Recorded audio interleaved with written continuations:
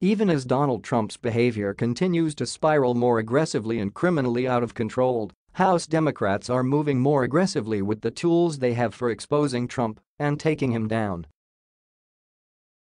To that end, House Oversight Committee Chairman Elijah Cummings is subpoenaing Trump's financial records, and he's about to get them.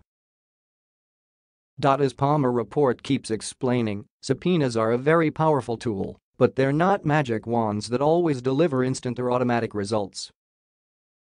When the person or entity being subpoenaed doesn't want to cooperate, it can result in a court battle where a judge ends up deciding who has to do what. If House Democrats want to win these rulings, they have to carry out their subpoenas in a way that's based in strategy, not haste.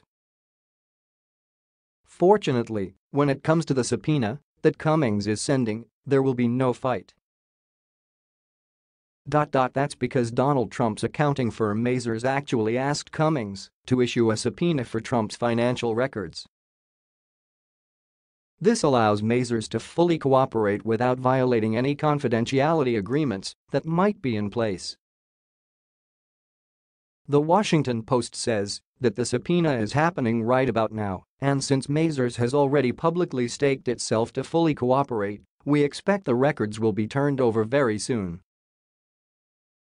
This story runs parallel to last week's revelation that Capital One has been cooperating with House Democrats for the past month when it comes to Donald Trump's banking records and that Capital One has asked to be subpoenaed.